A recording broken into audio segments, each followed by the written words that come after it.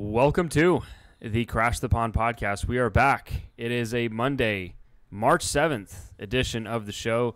Jake, this is this is going to be a busy show. I think the last few weeks we've had, you know, we've had decent topics, but but this week we've got a little bit of everything. We've got coach, we've got uh, I should say trade rumors, we've got free agent talk, we've got games to talk about. It's it's it's going to be an interesting one. We've got quotes from Pat Verbeek.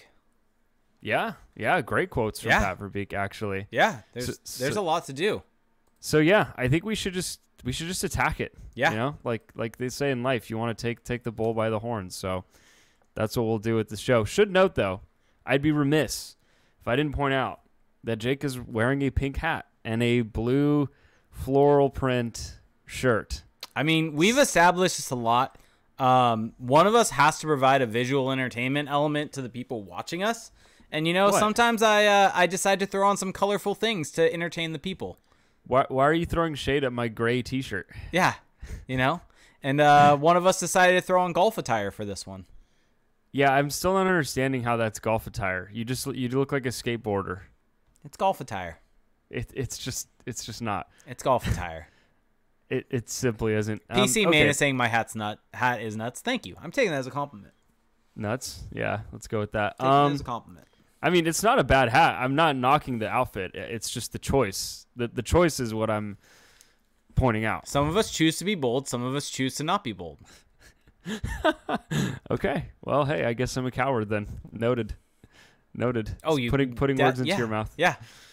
Okay. Well, I don't even own like clothing of that of that caliber of, I guess, noise, loudness, whatever the term is you want to use. Maybe you should up your game. I I should uh, give credit though. This was actually a very late birthday present to me from one of my good friends. So Oh, know? there you go. You know? Wow. Look maybe you. Give- maybe maybe you should stop hating on it.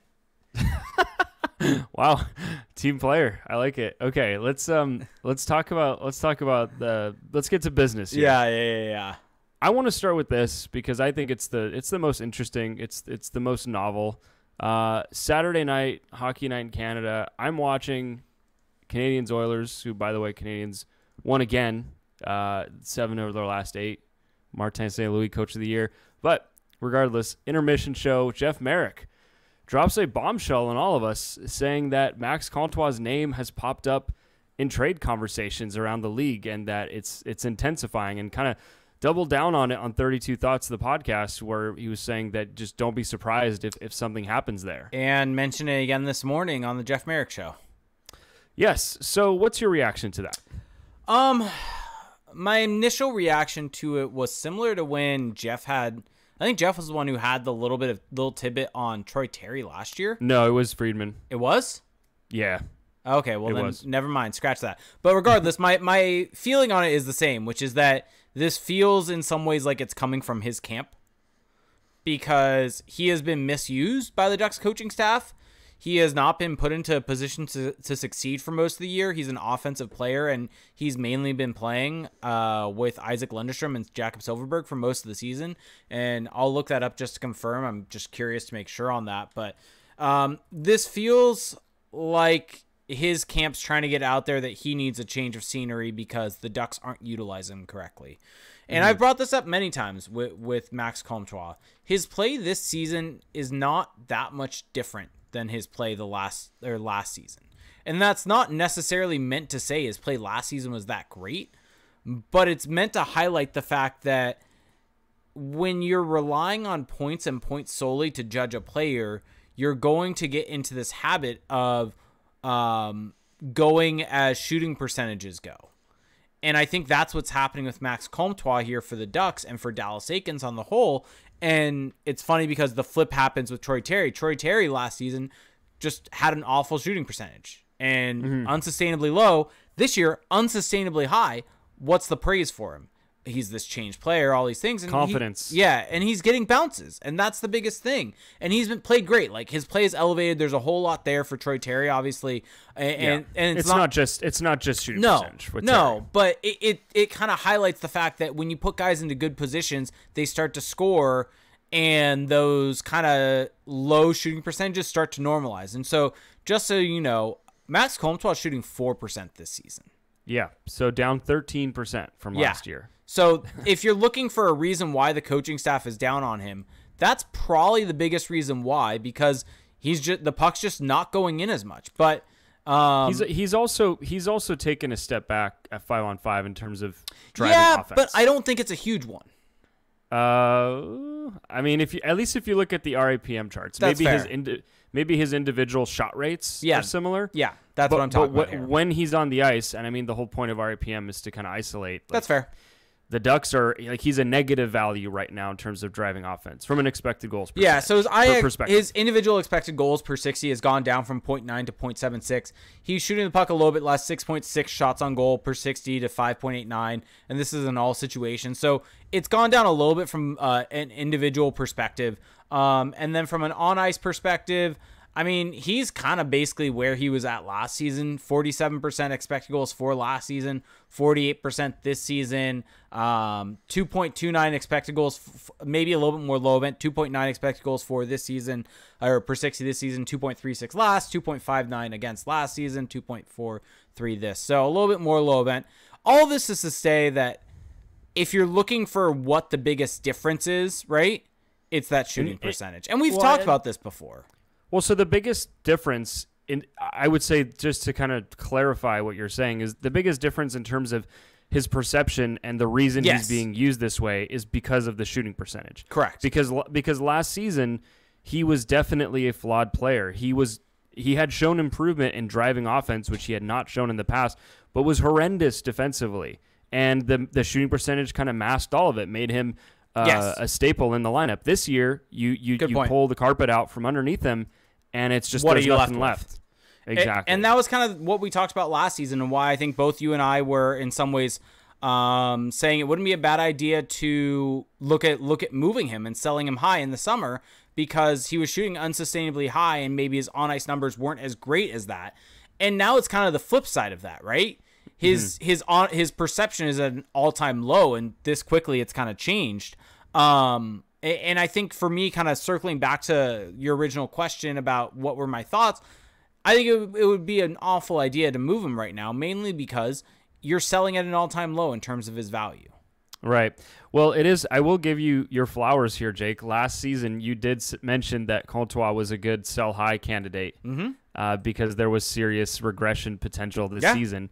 And lo and behold, that's exactly what's happened, and the narrative is completely flipped.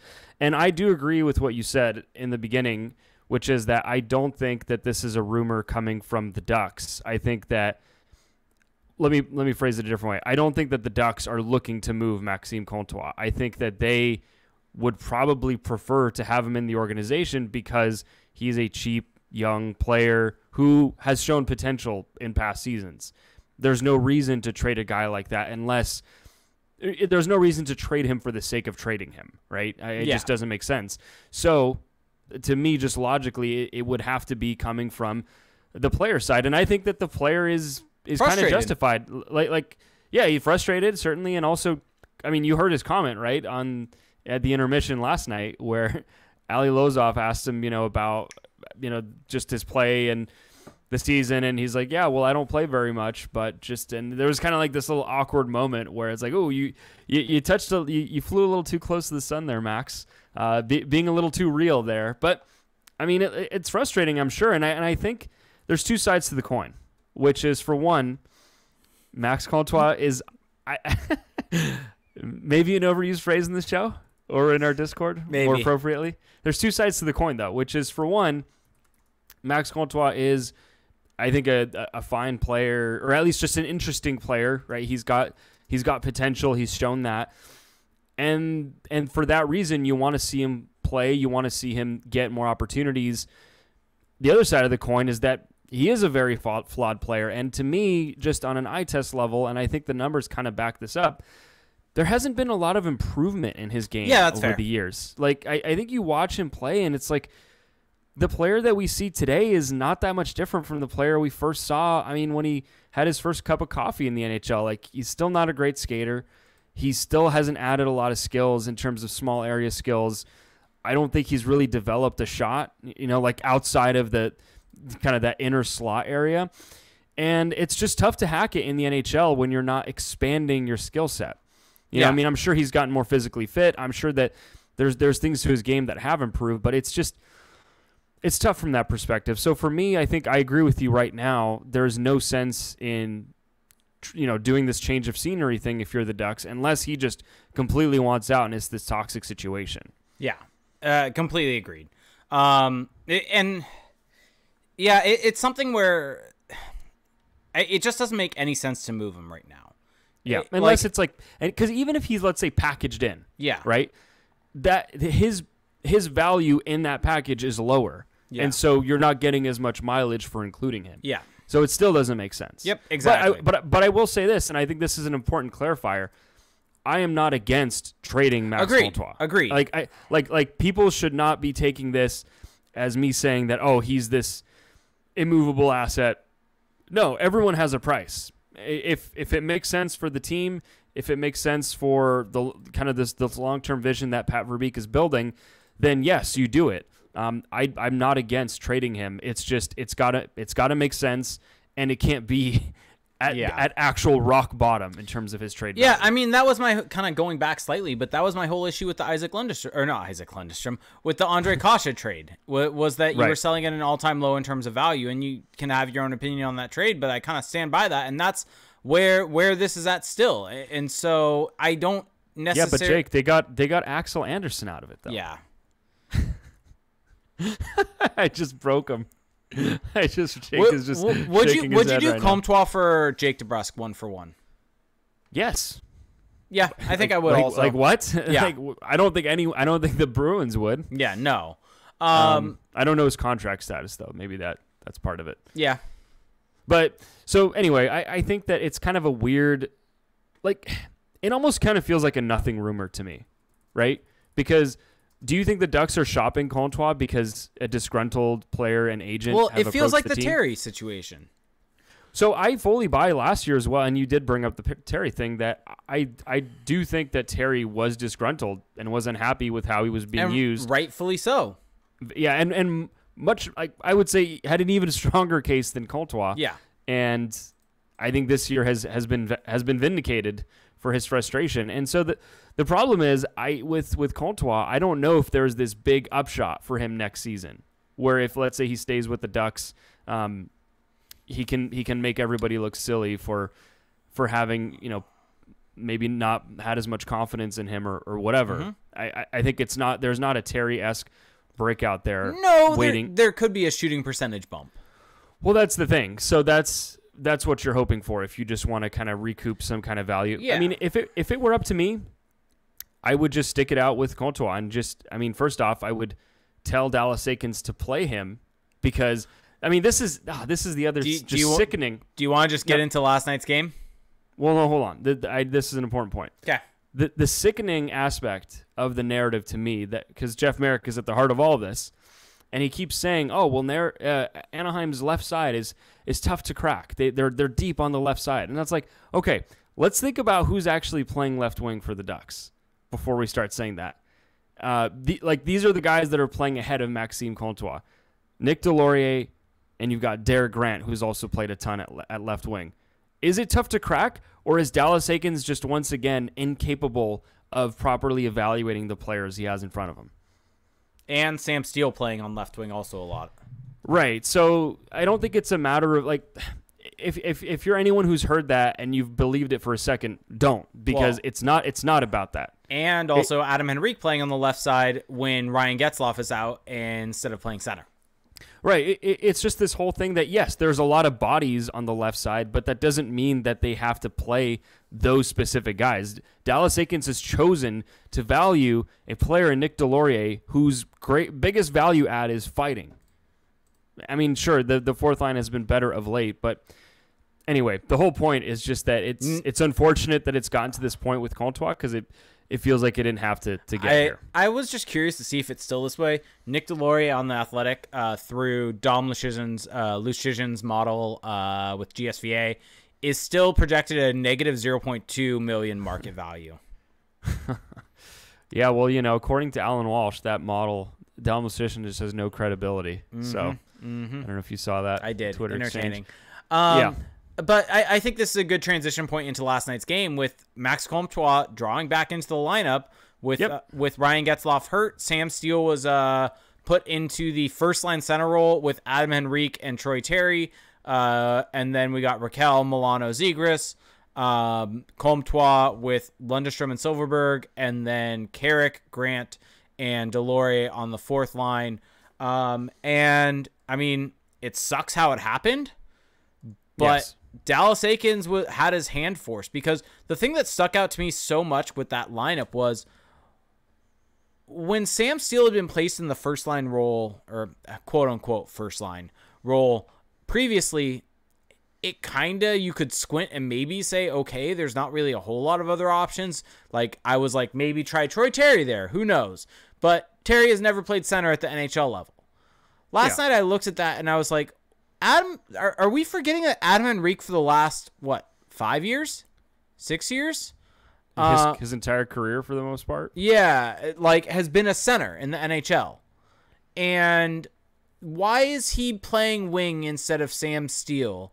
And I guess if you want to make the argument of development, things like that, wanting to give Sam Steel the looks at those roles, sure, but that doesn't jive. Like it, it feels two faced a bit if that's the logic there, because that's not what essentially Dallas Eakins has been doing. But regardless of the point, um, and kind of the Ducks' hand were forced because Lundestrom went out very early in the early in the game, and it forced the Ducks to essentially shift Sam Steel into the Lundestrom role, move Adam Henrique to center, and push Max Comtois up into that top six.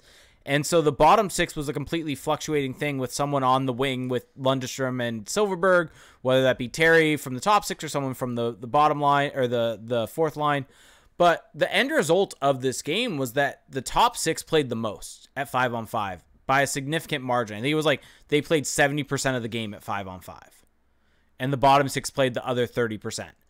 Um, and what ended up happening was the Ducks played maybe one of their best games of the season at five on five. They dominated play to the tune of 69% expected goals for percentage. And Max Comtois looked really good next to Adam Henrique and Troy Terry. Part of that is Troy Terry had a masterful game. He just Yes. was on a mission the entire game, was dominant in the ozone, generating chances, and being on that line with him is going to be really helpful to Comtois. But that's exactly what we've been talking about of putting hit, put him in positions to succeed. Put him in positions where he's going to be able to thrive, where he's going to get looks, get chances. And he set up a goal for the Ducks last night with that shot that ended up rebounding off Adam Henrique. And so, kind of back to the original point where the Ducks were forced to have a top six. And what ended up happening? They were dominant. Yeah. Yeah, I mean all of those guys posted great numbers. They they looked great by the eye test and I mean I think I've said this jokingly on Twitter before, but if I coach the Ducks, I would simply play the best players the most. That's it. That would be the only change that would be really needed because Dallas Eakins doesn't do that for the most part. Um, and so last night being the exception to the rule, you saw the result. And I mean, you you mentioned this today, but I initially thought, well, a lot of this is just the Sharks are bad, and yes, they were also coming off. Of, they were on the tail end of a back to back, but the Sharks and Ducks aren't that far apart at five on five in terms of their underlying numbers. Yeah. So that makes it look better in hindsight because it's not purely okay. You're beating up a bad team. Yeah. Yeah, and I mean this was a game where yet again the Ducks were didn't get great goaltending. They haven't gotten great goaltending really In weeks. yeah, since, since before the All-Star break, really. yeah. And we'll, get, we'll, we'll get to that. We'll get to the Vegas game. Yeah, and, and they were able to survive, and, and that's what they've had to do, and that's honestly what made them so successful earlier on in the season was the fact that they didn't get stellar goaltending to start the year, and they actually Yeah. had to rely on good five on five play to to lead the way, and that's what happened last night, and um, it, it's really it's good to see, and while it was something that for uh, kind of Eakins' hands was forced into doing this, I hope that he can maybe take a lesson from this of hey, and, and granted this is wishful thinking on my part. And Yes, also I'm it- of the. I'm of the opinion of he's not going to be back next season so it doesn't really matter. But I guess maybe from that global perspective, this goes to show what could happen if you optimize that top uh, optimize the lineup and create a top 6 that you play most of the game. Well, yeah, because I mean that's that's been a bit of a frustrating narrative around this team as they've kind of fizzled out in terms of their playoff hopes, right? I mean, if you look at the standings and you squint, you can maybe try to trick yourself into saying that they're in it. But with the games in hand that the other teams in front of them have, it's just going to be really hard. Um, but it's there's been kind of this almost like fatalism of well, this was this was always going to happen, right? That the, this hot start was never going to sustain, and and this is just who they were always going to be. And it's like, well, kinda, right? We no one expected them to be a great team. No one expected them It, to. it wasn't. To, to, it wasn't smoke and mirrors to start. I think right, that- but it but it also wasn't smoke and mirrors, and there is a path to at least sustain that to a degree. And again, part of it is the COVID rampage in the first, you know, in January and late December, but also it's just Dallas Eakins again continuing to prioritize playing his third and fourth lines over just rolling Well, his horses. That to me has felt like the biggest shift in the the mentality for this team. If you recall, like, don't think too long ago, uh, Derek Grant was waived, yeah, and and Nick Deslauriers was in and out of the lineup, and that was all happening when the Ducks were playing extremely well. Like that was not when they were play they were playing poorly and they were trying to jumpstart guys, things like that. That was when the Ducks were playing legitimately extremely well. And they were scratching Nick Deslauriers and Derek Grant on the regular. And what changed since then is that those guys are playing big minutes. And I Yeah. think that there's an easy correlation that can be had there of well, there's kind of your change is that they're being put into bigger positions and the Ducks are in some ways suffering as a result of that. Well, it's not just that those guys are playing bigger roles. I mean, I guess it, it should be obvious, but it, it it's probably helpful to say it. It's just that the more minutes those guys play, the less minutes the good players play. And you're just taking so much value off the table in the long run doing that. Um, it is strange. It is a it is kind of an interesting question of how did this happen? How did we get to this point where Dallas Eakins tricked himself into thinking that his best shot at winning is coaching this way? Because, like you said in the beginning of the season, we saw like a, I guess whatever is slightly more than a flash of Eakins. I think coaching a, a good game, and it just kind of went away. I think that as he got desperate, maybe I don't know. I mean, he's uh, certainly under a lot of pressure because we he, his future is uncertain. Uh, it's just it's backed him into a corner, but it's just that the decisions that have come out of that have just not been good. Yep. So, Raquel's goatee saying, uh, "What change is no Bo Groulx? Shake my head, future Selke candidate." yeah, Bo Groulx. Yeah, Remember those days? Um, Oh. Okay. Well, so do you want to? uh, Okay, let's get your brief take on this. Uh, controversial overtime goal yeah, against the Sharks. yeah, Con- co- controversial because it legitimately should have been a penalty. yeah. It the, like it should have been. It was too many men on the ice. Like I mean, here I'll just read the rule for everyone.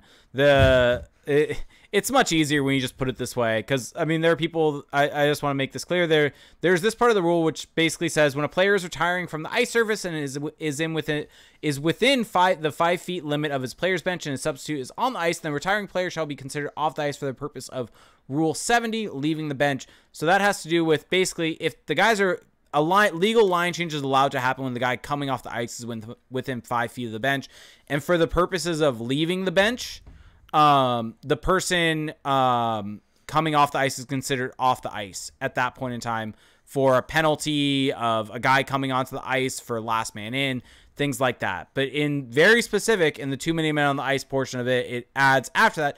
If in the course of making a substitution, either the player entering the game or the player retiring plays the puck or who checks or makes any physical contact with an opposing player while both players involved in the substitution are on the ice, then the infraction of too many men on the ice will be called. And if you look at it, when Rickard Rakell is able to grab the puck and he uh, makes that play, Adam Enrique's skates are firmly planted on the ice. He is Yeah. not on the bench. He is standing by the boards. Just because he's within five feet does not mean that it is allowed. Um, if he is on the ice, physically on the ice per the rule, um, for Rule 74, which is too many men on the ice, it's a penalty. And so the goal shouldn't have happened. Good good break for the Ducks. The Sharks are definitely um, right to be aggrieved, to be angry about this. Um, but uh, I mean, the Ducks took advantage of it, and uh, I mean, Rickard Rakell, Rickard Rakell trade stock. yeah, Rickard Rakell's Going trade stock. Uh, yeah, being within the five feet doesn't. There are people kind of saying in the Twitch chat he's within five feet, no penalty. If that's the case, then when the puck's thrown by the bench, when people are making changes, you see guys jump over the boards and things like that. That Mm-hmm. wouldn't happen. The five feet rule does not matter for too many men on the ice with playing the puck. That Right, that's the key part is the playing and- of the puck.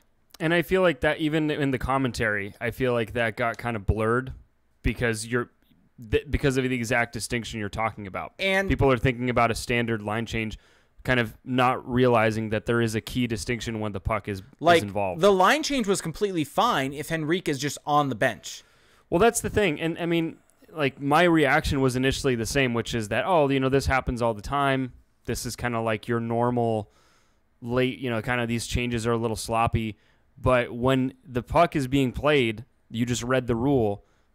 That I mean, it, it changes. It's no longer Yeah. the- it's it happens all the and, time and, scenario. And if you want to say, well, and here's the thing: people say it happens all the time, and things like that. It's it's a missed call, but and there are missed calls that happen all the time. But in the same way, if and I mentioned this to you before we started recording, if there's a hook in the defensive zone, and it leads to a breakaway the other way, the team that got hooked would be pissed. It's Right. the same situation, and Yeah. this is a penalty by the letter of the law. It's a hook, and or not a hook by the letter of the law. It's too many men on the ice. Uh, Henrique skates are on the ice. If I mean the real issue I have here is why wasn't someone opening the boards? Mean the Uh, door. Yeah. Why why isn't Yeah. someone opening the, the opening the door there for Henrique to jump on or jump on the bench? Why isn't Henrique jumping onto the bench also? Yeah, well, here's the thing, though. I mean, we're getting a comment, but as someone who hashtag played the game, no player actually understands too many men. Too many men, they just panic. Yeah, but there's a reason they panic if the puck goes Well- near the bench because you're not allowed to play it if you have too many men. That's why that should have been a penalty because you had four guys on the ice and one of them played the puck. Yeah. Right? Like if the, puck doesn't get played there and it just go and it goes down or whatever, we're not having this conversation. Yeah, and I mean the the rule It's, is be- it's because he played it. It's why the- guys try to jump. They don't want it to hit their the, skate. the rule book is cut and dry. And I think that that at the end Yeah. of the day is the beginning and the end of the story for the situation is sure you can say well the refs could call it this way or could call it that way. The rule book says this. That is what they are instructed to enforce. Yeah. If they don't enforce that, it's a blown call. That's it. That Yeah, like and that's that's the end of the story there. And like that is why I say it's a blown call. Like whether that whether I think it's the right decision or wrong decision, it's a blown call. and it's not meant to take away from what the Ducks did. It's not meant to Also, to go ahead, sorry. go ahead. No, no, go for it. All I was going to say is that um notice how they didn't ha- uh, have Silfverberg on the ice to start the Well, no Lundestrom or Silfverberg. I mean, that was the first thing I noticed was, oh wow, they're gonna gonna go and try and win the game. Interesting. Like this is the the the the, the madness of the uh, Lundestrom Silfverberg duo to start overtime. It's like you're not winning, you're not winning the game with those two out there. You're like this whole notion of oh well, you're you're controlling the play. You're you're kind of making sure the other team doesn't score. It's like well, that's like you've already got a point in hand. Like you got to go and get the next one. Yeah. It's it's not time to play it safe.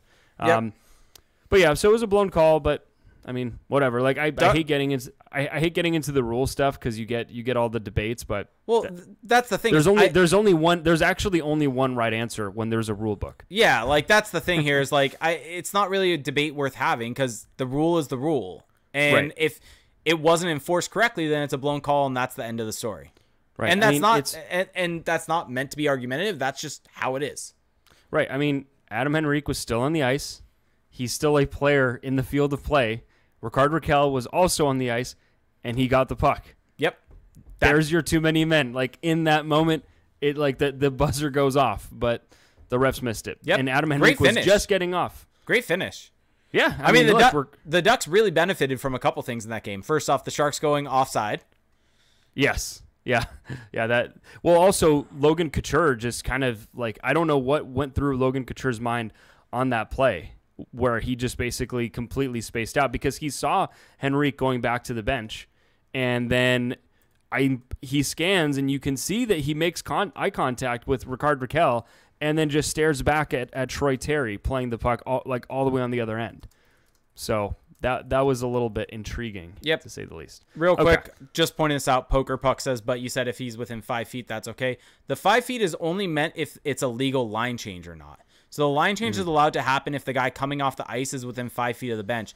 But if he's within that five feet and the guy, either him or the guy coming onto the ice plays the puck, then it's too many men on the ice. Doesn't matter how close they are with uh, how close they are to the bench. It if they play if two guys are on the ice and they Yeah. play the puck, then there are six guys on the ice at that. Well, in this case, four guys on the ice when it should be three on three. Yeah, I mean the, the the distance here is kind of immaterial because of the Playing of might not be puck. immaterial, but it's the playing of the puck that renders that moot. Um, it's just not what we're discussing. CJ KHL with the great comment. Couture is very dumb, to be honest. Sorry. Yeah, I mean it's it's it's not a. I mean even though he's correct in arguing the call, it's not a great look when you were the guy who could have done something about it and you just kind of kind of got caught puck, puck watching. Okay, uh, do you want to talk about the Vegas game, or I- should we do a, an ad read? I think it's time for an ad read. Okay. So this episode is brought to you by Green Chef.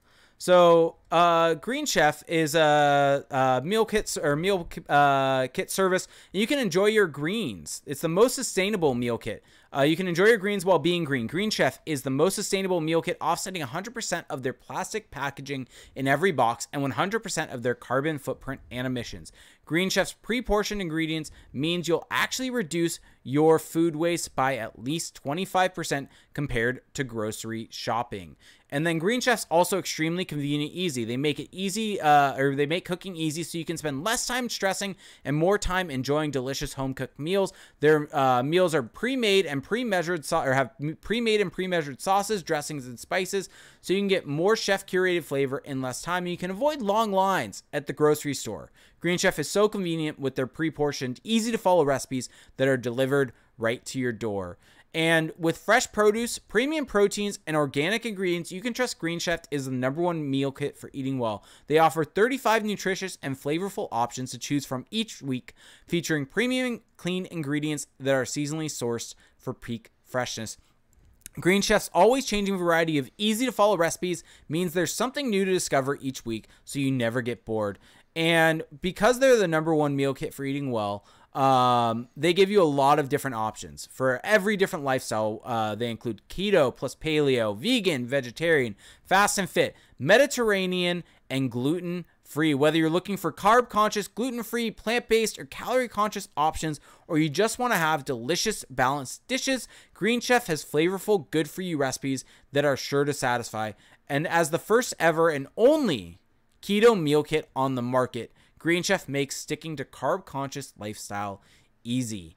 So, Felix, what's on the recipe this week for Green Chef? Yeah, so the one, I mean, so they've got this weekly menu and Italian style surf and turf looks Ooh. amazing. Yeah. So you've got steak, you've got shrimp, you've got shallot, green kale, hazelnuts, Parmesan cheese, a little cream cheese, Italian herb. It's freaking delicious and it's healthy. Um, it's low carb, so you can stick to your, your keto lifestyle, gluten free. Um, that's the beauty of Green That- Chef is that- that, That also it's actually delicious. That also has the chef select uh, portion that uh, treat yourself to a fine dining experience with this premium recipe. Some other things on the, the menu are mozzarella stuffed pork uh, meatloaf, uh, beef meatballs with Creole Dijon. Um, I've mentioned this before, but their meals are fantastic. We save the recipes no matter what whenever we get them, just so we can always try them again because they always end up absolutely delicious. Um, so with that being said, you can go to greenchef.com slash CTP130 and use code CTP130 to get $130 off plus free shipping. Once again, that's greenchef.com slash CTP130 and use code CTP130 to get $130 off plus free shipping. That's once again Green Chef, the number one meal kit for eating well. Yep. So go check that out. And with that, let's talk about the Vegas game. This was this was an interesting game because let's just say that up to a certain point, and by that I mean uh, before Trevor Zegras scores, at which point the the Vegas Golden Knights are basically running over the Ducks. I mean it's five to two at that point. You know they've scored three unanswered goals. It almost felt like okay, you know this is not a healthy Vegas team. They're they're missing Mark Stone. They're missing Max Pacioretty. This almost feels like the nadir of the Duck season. Like if they can't if they can't get it done in this kind of cushier match. I don't want to say cushier matchup, but a more favorable matchup with Vegas. I mean, you're at home and they're not at full strength. They're missing key players. What can you conceivably get done? And on top of that, John Gibson is not having a good game. It just felt like this was going complete like this was this was the season. Once again, this is this is the season just continuing to spiral uh, down the drain. But instead, once again, Trevor Zegras gets it done on the power play. A fantastic shot along the right side um, to bring Anaheim within two. And then in the third period, Troy Terry also getting it done on the power play. He's very good, don't you think? Troy Terry is very good, and it was just this exciting comeback. It was a it was a great effort by the Ducks to to make it close, and and to, and not just to make it close, but to do it in style. I mean, if you look at both the Zegras and Terry goals, these are, I mean, first off, Troy Terry, the the move to the backhand from the right oh, side. Oh yeah. So I've said this a couple times, but that's not an easy play. Even though you could say maybe Brossoit is, is you know too That's far low- on his post deep. there. Yeah, but the thing is, so that's a goal line play, and maybe Brossoit should be a little further out. But the way that Terry kind of lulls him to sleep, fading to the goal line, and then puts all his weight onto that right foot so he can cut to the left, and then extends like he he does this thing where he kind of extends out his hands, so he creates a new shooting angle, and he can just perfectly shoot it into the far side. I mean. I know that it's not like it, maybe it's a little hyperbolic, but sometimes some of the stuff Troy Terry does reminds me of Pavel Datsyuk because just like the just the creativity, the kind of but it's also scientific where you you can see what he's doing and how he's doing it and and it leads to this fantastic result. So again, like it was an impressive comeback. All these great Yeah. things were happening. Ultimately, the Ducks fall short, and I think at the end of it, you're kind of just left wondering, well, you know, it's well and good that they came back, but they also put themselves in this awful position and they don't have anything to show for it. They lose in regulation. Is it time that we have the conversation? The John Gibson conversation? The. John Gibson conversation? Yeah, I mean, look, I've I've been a defender in recent weeks, you know, saying, well, you know, fatigue, this and that, but the trend is the trend. Yeah. John Gibson has has not been good since the All Star break, and there's different you know hypotheses that you could come up with. You know, is it fatigue? Is is he banged up? And and Dallas Eakins has alluded to all of those in their in his press availabilities. But the fact of the matter is that he, a he's not played well, and b the Ducks aren't doing a damn thing about it. Like they're No. like they gave him maybe one extra night off for the for the San Jose game, the the first San Jose game, and it's just like, what is the plan here? It and you know, and I mean, it also doesn't sound great when Dallas Eakins gets asked about this, and he says, "Well, our goalie coach is off scouting in a faraway land, and so we'll we'll have to convene on that." It's mm. just like. It, it just seems kind of like a rudderless ship when it comes to managing John Gibson. So here's every game since the All Star break Seattle, negative 1.85 GSAX. Calgary, negative 2.15 GSAX. Edmonton, negative 3.26 GSAX. Vancouver, negative 2.36 GSAX. LA, negative 2.7 GSAX. Boston, negative 0.91 GSAX. Vegas, negative 2.2, new 2.62 GSAX. Yeah, Eh, Yeah, like, hasn't hasn't been good. And I mean, I I would have to update this, but after Friday's game, uh, even so, Anthony Stolarz had a better so a better save percentage when you compare his expected versus his actual to John Gibson. And you know, he hasn't been the starter. He kind of he kind of gets maybe the softer games at times, but Anthony Stolarz has been damn good this year. And at a minimum, at a minimum, he should just be playing more. Give John like John Gibson is one of those guys where when he's at his best, he can carry the team mm-hmm. and he can he can put you in a different category in the standings by his play. What's happening now though is the opposite of that. The other side of this coin, which is that when he's not on his game, he can bring you down in the standings because he's just he's he's burnt out or whatever. You got to keep you got to keep that engine running however you can, and you have one of the best backup goalies in the NHL in Anthony Stolarz, and you kind of just refuse to play him any more than just kind of your average backup. And I think that that's that's the big failure of the Ducks is that they've they have this great asset, they have this this this great value in John Gibson, but they have no idea how to how to manage it and how to optimize it and how to get the most out of him for the longest period of time. Yep. Uh, and real quick, want to mention so since the All Star break, negative 15.86 GSAX. And I want to mention this because Austin Price brought this up, and I think we do get new listeners all the time. And so he asked, what stat is that exactly? So this is GSAX per evolving hockey, which is goal saved above expected.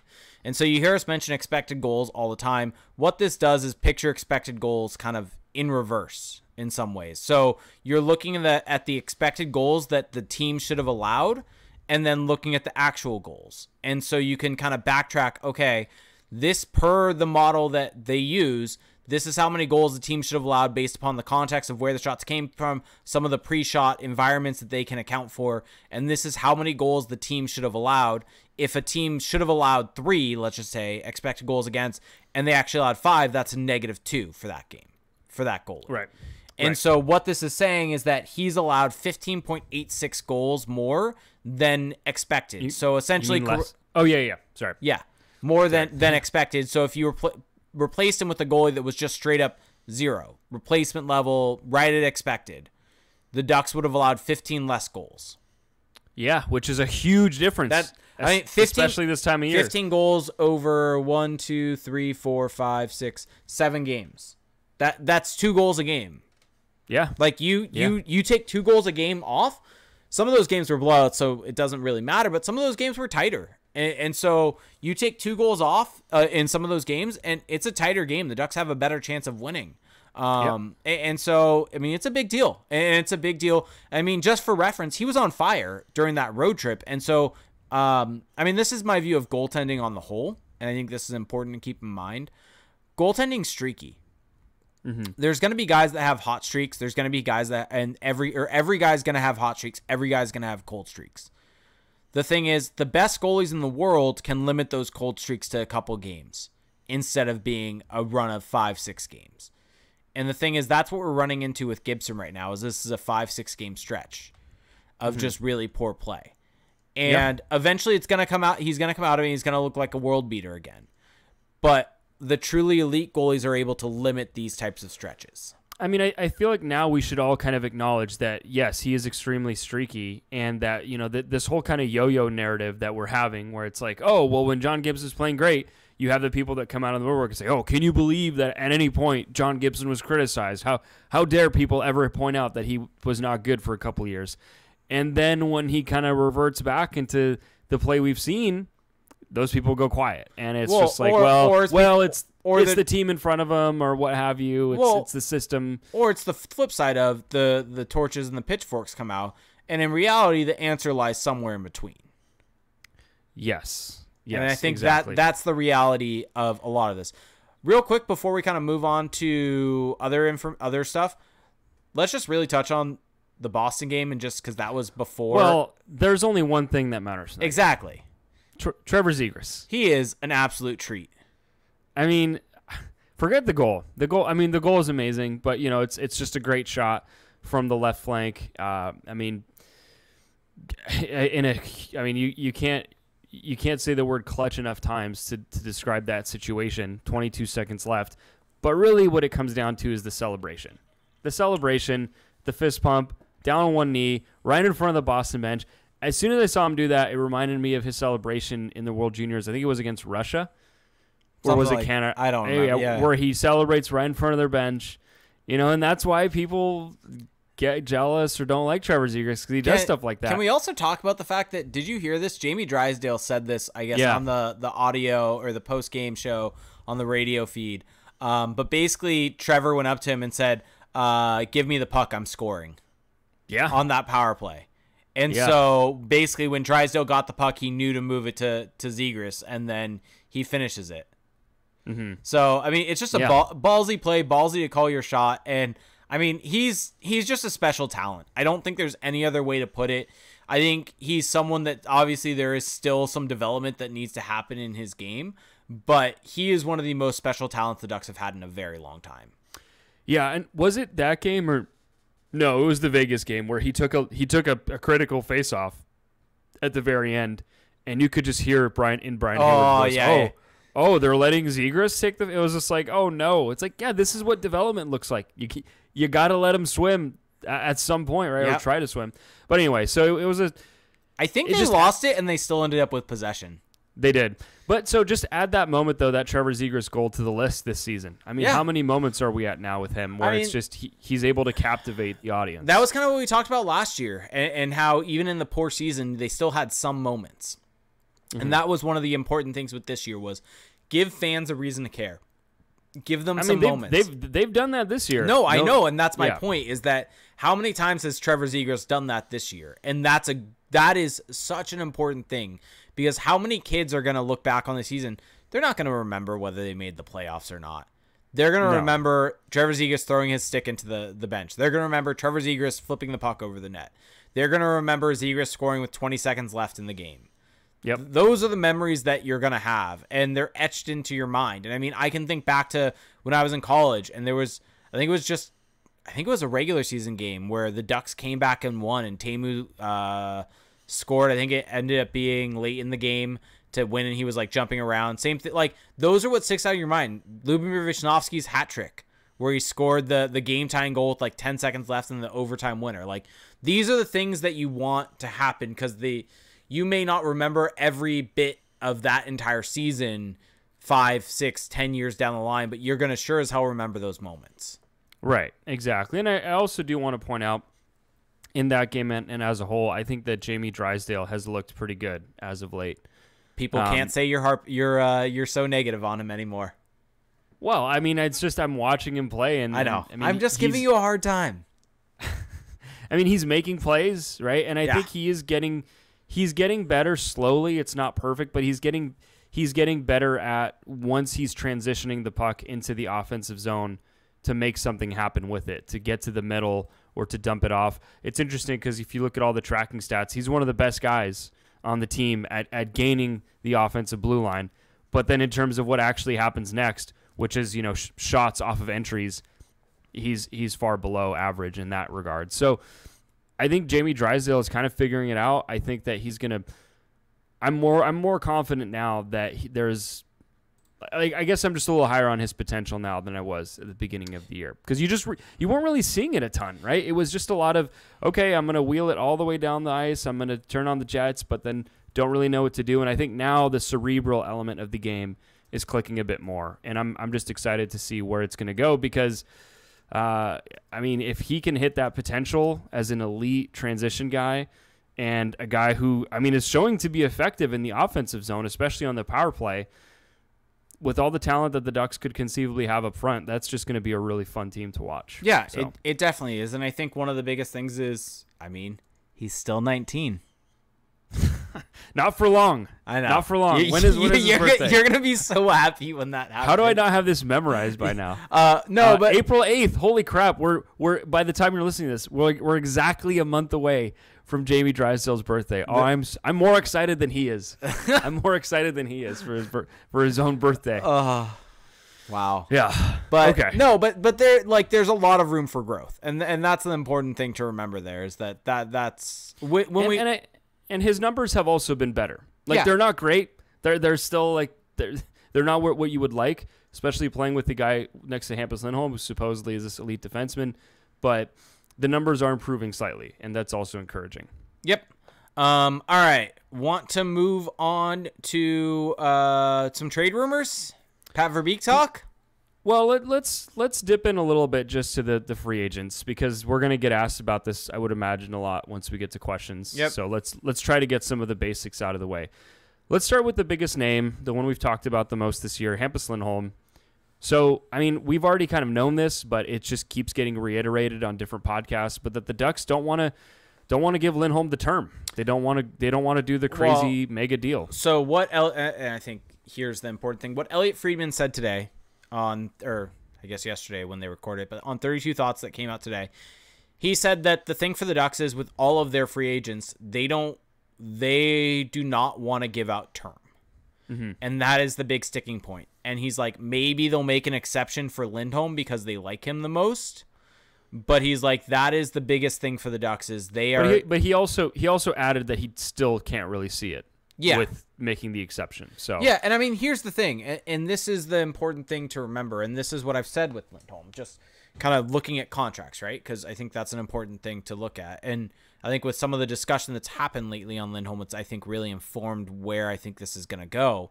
Um, but I think if you're Lindholm, the starting point in any negotiation with the Ducks is the Cam Fowler contract, which Right. was eight times six and a half. That is the starting point, and then it goes up from there.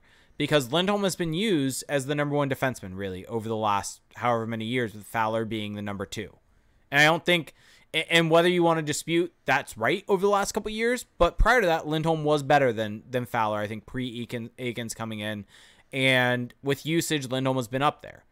And then you also factor in UFA and and inflation into this. When Fowler signed that deal, I think it was 2016 or 2017, and the cap's gone up since then. I think it's gone up by four or five million since then, and then the market's also gone up along with that. Defensemen are getting a whole lot more. I think when Fowler signed, six and a half million was a whole hell of a lot.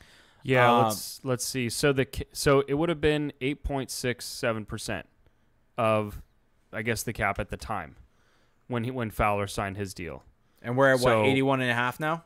So nine would be actually would nine be above 10 percent of what the cap is now? So yeah, yeah. So it would be about seven mil or so now in in, So- in, in the current deal. So yeah, so I mean that's kind of the baseline Yeah, for for Hampus and eight eight times seven, and, and so if that's the baseline, that's the starting point for him. And I think it goes up from there when you compare yourself to the market value that Seth Jones got. And with and people may think that's crazy, but and he doesn't have the production, but look at the way people are talking about him. Yeah, Like exactly. like that's kind of what's informed my opinion on this. Look at the way Friedman's talked about him. Look at the way Marek's talked about him. Look at the way I was listening to the Chris Johnston show today. Look, look at how he talks about him and the fact that he is the number one rental if he's available ahead of yeah, Cla- the, the, the, ahead the, of the uh, perception is that he is an elite defense. ahead of Claude Giroux. Like yeah. that that Yeah. Lindholm would be the number one rental on the market. And I, I think all of that kind of goes to show that if that's the perception, because these guys aren't just getting aren't, aren't coming up with that information on their own. These No. insiders get fed information by by people. And so that that may be in some ways their opinion on the player, but it's well informed from other people in the know. And so if that's what they're being told, then Lindholm is gonna get in the eight million dollar range, eight to nine million dollar range, probably at seven years. I think that that easily could happen on the open market. And so if you're him, why would you not like what would make it where you would sign for the Ducks, right? Exactly. Like and that. the the only thing is Yeah. getting the eighth year, and so he probably wants eight years for eight and a half mil. Well, and I think that's why you can easily say, confidently say that Lindholm won't be won't be a duck past the trade deadline because it's like just put the blocks together, right? Term like like you said, he can he can go out and get this amazing deal on the open market. The only The thi- only- the only leverage well- the Ducks have is the eight years. Well, that's what I'm saying. So that's Oh, where I'm getting. sorry. That's what I'm getting with this is that the only thing that could make it worth it for him comparatively to stay with the Ducks is if like th- that's their only lever is that extra year. And if the Ducks don't want to give him that extra year because we've heard over and over that term is important, then how could you see this ever actually happening? Right? It just seems completely incongruent. And of course, this could all be BS. This could all just be posturing from both sides, but I think that it, there's enough there to say, okay, the positions here are so at odds with each other that I don't know how it ends up happening. The Ducks would have to. It feels like the only way that they can make it worth it and not give him all that term is to pay him a like grossly overpay on the AAV. And I just, I don't think they're going to do that Well, either. and right? what would you have to do to really make that worth it, right? Because Exactly. you, you got to think he would be getting. Let's just say he gets that seven times eight point five. That's fifty nine and a half million. If he ends up getting, uh, let's just say a five year deal, right? That's a twelve million dollar deal. Twelve million dollar AAV. Like it's just you're not you're not doing that. No. Like, it's it's crazy. And, and he's and here's the other issue with the eight eight years. He's 28. He'll be 36 by the time that deal's Like done. how many how many examples of defensemen aging poorly do we need? Players aging poorly on these mega deals do we need to realize that maybe you shouldn't do them, especially when you're negotiating against yourself in a way. There's no other there are no other teams. Like you like you were texting this to me before we were recording, but if you really want Hampus Lindholm, try to get him in the summertime. Yeah. Like trade him, get the assets, and then take a run at him when he's a UFA. Yep. And like, Like you could you, you could have the potentially the best of both worlds. you're running the risk, and I don't think that would happen with Lindholm because once again, terms the issue. So Mm-hmm. the, that seems more likely a situation with Manson and Rakell. Sure, but but but the point just No, being I- yes, that it- yes. yeah, it just doesn't make any sense. I I, I don't think Hampus Lindholm is going to be a duck for past the trade deadline. No, I don't. I mean, yeah, painful light brings up. Look at the example of uh, Vlasic in San Jose. I mean that's that, and that's been a comp for Hampus Lindholm for years, Yeah. right? Is the defensive defensive defenseman, and it's just yeah. Now there's also been chatter. I mean, did you have anything else on Lindholm? Uh, I don't really think a whole lot more. I I think the return could be massive though. That I'm starting to settle in on the return for Lindholm could be big, Yep, yep, and then which Josh is all the more reason to, tr- to trade him. Yep. And so Manson, I mean, the rumor today from Frank, Frank Seravalli is that there's just not a lot of chatter, and that maybe he's the guy that the Ducks end up keeping. I don't know if I'm missing anything there, but that's that's the gist of it. And you disagree. You think that it's just because he's been hurt that there's not Yeah, much I mean, who knows? I, I, I think that the injury probably quiets the chatter. One thing that's also been was brought up, I think, by Chris Johnston today on his show, was a lot of the a lot of it's really quiet right now because if you're a team in the market for a rental, you're typically going to be uptight against the cap, and you're really trying to maneuver that cap. So the closer that you can get to the deadline, the more accrued cap space you can get prior to acquiring that guy. Mm-hmm. So, especially with Manson being hurt, why would you trade for him right now when you can't use him and have that cap added to your cap sheet? yeah. So, No, I'll- yeah. So the so the whole quiet narrative, like, because because the additional comment was just, oh, he's the maybe the defenseman likelier to re-sign with the Ducks. It's like, well, yeah, sure. Like we all know, like we've Mm-hmm. known this for a long time that if you're gonna say who's likelier to stay, it's probably Manson because yeah. he's not gonna break the bank the way that Lindholm. and is. it sounds like uh, family wise he wants to stay. And yeah, like and- it sounds like he's probably not gonna play hardball to on his contract like Lindholm is. yeah. But even having said that, I would like if that's the case, even more of a reason to trade him and just sign in the offseason. yeah, because he would be willing. He might be more open to that. Yeah, and so you can even tell him, hey, if you want to be here long term, this helps us long term. This gives you a chance at a cup. Sure, Yeah. you have to go away from your family for a couple months, and that would Well, suck. it also gives it also gives you a better chance at a cup here, Yeah. long term. like this is a win-win. Where if you're a GM that is cerebral, it's an easy sell to your player. Of hey, Mm-hmm. you like it here. Hey, we we want to bring you back. Like this, like this is such an easy, easy situation for that. And same thing with Rakell. I, I think that Rakell is, could also get a lot on the open market. Um, actually, Rakell's the one I have the best idea for both contract and trade because Mm-hmm. he's basically Tyler Toffoli at this point in terms of production. in terms of production, and that is what matters for all of this, Yeah. right? Yep. I like, mean, yeah, that's He, except for defensemen. the year that Tyler Toffoli was traded from the Kings to the the Canucks.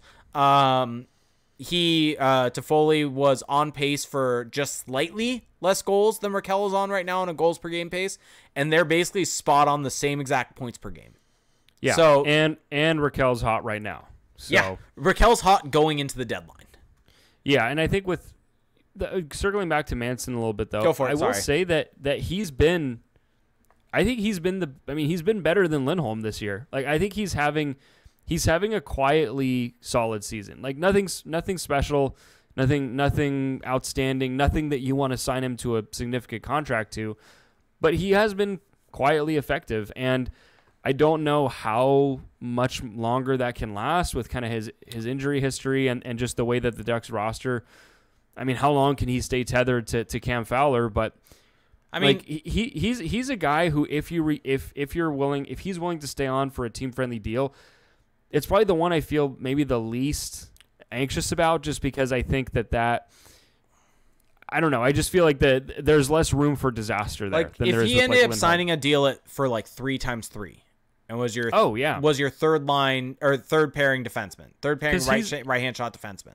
in a lot of ways, he's been above replacement level this season. And Yeah. so if if you're getting that, maybe a little less than that for three years, like that's that's fine. Yeah, Like that's I you mean, could do a lot worse. I stand by my point. I wouldn't extend him to that right now. I mean, his market Well, value is at two point two per Same, athletic. but but but you know, we all kind of have to have that in the back of our heads of okay, well, if someone is staying around, if it does happen, yeah, who are you most comfortable on? For me, it's it's probably Manson, not so much because of the player, but just because of the cost, the kind of the the cost benefit perspective. yeah, that's fair. That's fair. So Um, and then anything you want to add on Rakell? I mean, he's hot at the perfect time. I think he's getting traded, and there's just not a whole I lot mean, else to it. they've Just- now- just helping his value. Yeah, I mean, uh, there was a new trade bait list posted on March 2nd, and Rickard Rakell is 10th on that list. Hampus Lindholm is 14th. Josh Manson is also on the list at 15th. And then also down in like the 40s, 46th is Nick Deslauriers. If they don't trade him, what are they doing?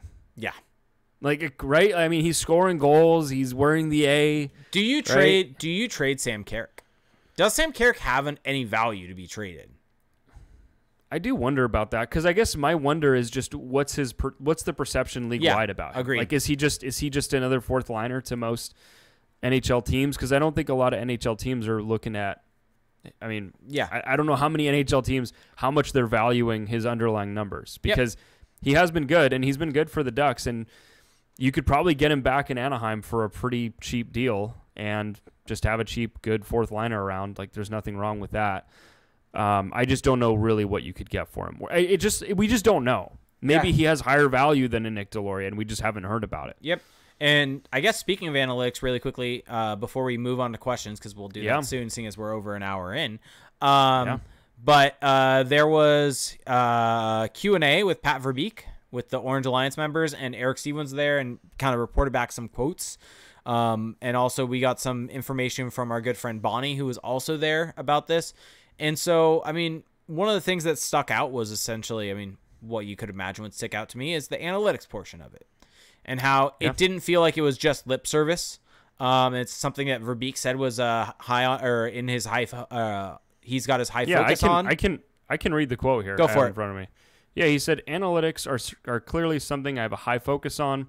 You can really use it well along with coaching and the scouting aspects. I think you can merge them in such a way that will be beneficial not just in finding players but helping players develop their game.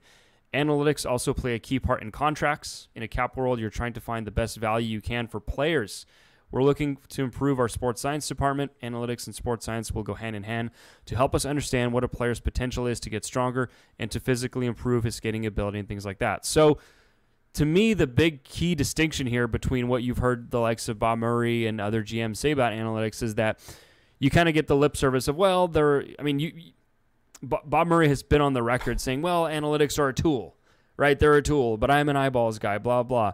You've heard him say this. And it's kind of just lip service, right? Whereas, or it's, it's just, it's a little abstract. With Pat Verbeek, he's telling you here, eh, like specifically where analytics help and in mm-hmm. what way.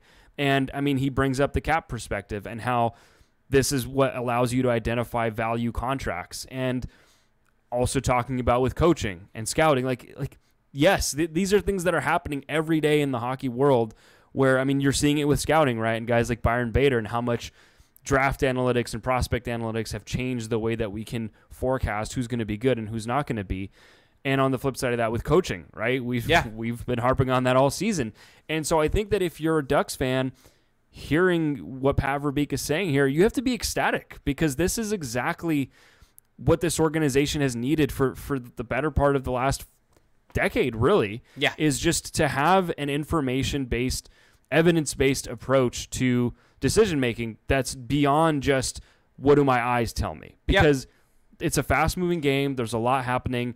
You can be a grizzled veteran. You you can be a hockey lifer like Bob Murray but you're just not like it's Well- just the human cognitive bandwidth only goes so far. You can't catch everything. And that's where analytics really showed their value. And finding the value, especially on um, like the fourth line, like when think about like a guy like Sam Carrick. If he ends Yeah. up getting moved, if you don't resign him, the way that you fill in that talent is by using your looking at some numbers and utilizing those to help you uh, identify players that could be good fits. Not looking at the uh, Derek Grants, not looking at the Nick Deslauriers, finding different players to fill those roles. Yeah, exactly, and, and it's it's it's understanding things from a cost value uh, ratio, which is important as well. Because I think with Bob Murray, there was always kind of this weird like it never the, the numbers never made sense for these contracts, right? When you're signing, when you're going out to get guys like Nick Deslauriers, Derek Grant, and it's just so anyway, it, it's just good news. Be happy about it. Is what I would say. Yep. It it it, bo- it bodes well for the future, and you know, assuming that, for example, Jeff Solomon stays in in the fold, like it just seems like the Ducks are getting smarter very rapidly. Yep. Yep. Agreed. All right. Time for some questions or anything else? Uh, I do want to ask. So the NHL trade deadline is March 21st. So Yes. we are Two let's weeks. see, two weeks away. Oh boy, we're, we're I'm just gonna be feverishly checking my phone every day for the next two weeks, I guess. Oh, let me ask you this. Mm-hmm. The Ducks go on a road trip right now. They get back the week before the deadline. I forget which. I think the first home game is a week from Friday. What happens first? The Ducks trade someone off the team, or they get back from the road trip. Wow. As in, uh, gi- give me the trade. okay, Give me the trade. okay, Yeah. Give me the fun option. yeah. Um, all right, so we'll get into some questions. So we're gonna start with our Discord. Uh, fabulous people at Discord. Um, or was there anything else you wanted to say about the deadline? No, no. I think I think I think I've got everything. We'll, we'll plug the Patreon in a little bit, but uh, Travi Bear asked this uh, while we were recording last week, and it's still relevant. Um, do you guys know, or to, uh, how do you guys think the Russia-Ukraine situation is going to affect Russian prospects? And so, actually, as of today, well, with their ability to come over, and especially within the the draft trading, it was announced today that there was going to be a severance of ties, essentially, between the KHL and the NHL. And so it probably means that it's going to be tougher to have the guys from the KHL come over. Yeah, I mean it's going to be very difficult as long as this is persisting. Yep. So- So, that that's Yeah. kind of really the answer to it. Uh, Darko Theory asks, out of D'Lo, Grant, and Carrick, how many get traded? D'Lo is bringing up the value, which is nice. I expect him to, uh, to go at least, and the rest of the line has looked good without him. So, out of those three, how many do you think get traded? That's a good question because I don't know. Derek Grant is an interesting one because he's got a year after this, and how much of an axe does Pat Verbeek want to take to this roster right now? You still got to finish out the season. You still need bodies. I would guess that out of those three, just Deslauriers get traded. I'm gonna go with w- w- one out of the three. I. uh, The answer that the question was just how many. I'm gonna go with two. Oh, okay. You're going two. I'm gonna go. On, I'm going with one. Okay. Charbonneau said, with Drysdale impressing recently, will Felix eat crow? So, I just want to say this. I never said that Drysdale was never going to be good. I never said, in fact, I said the opposite. I always said that there's potential there, blah, blah, blah. I was just saying, look, the results so far are uh, like abominable. That's all I've ever said. And um, I'm not going to eat crow. There's no need. Like everything is playing out how I how I said. All right. Shake and Wink says, what do you think Terry Z- uh, Terry and Zegras will end up point wise, and what would uh, Zegras end up with if Eakins knew how to use him properly? Yeah, how many more points would Trevor Zegras have? Yeah. Um, so let's see. Troy Terry currently has 49 points in 53 games. Zegras at 42 in 52. How many do they end up with?